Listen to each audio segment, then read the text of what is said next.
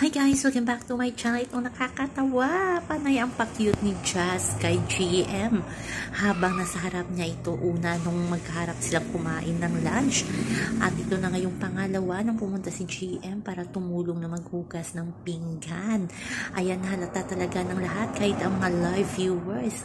Ang pa-cute ni Jazz at hindi nga tayo nagpakamali. Kilig ng kalig si Jazz. Hindi napigilan ni Jazz na magparinig kay GM kasi nga hinugasan lahat ni GM ang mga pinggan. Sabi pa ni Jazz, nilubos-lubos na daw yan ni GM kasi ang ganda ng full view ni GM.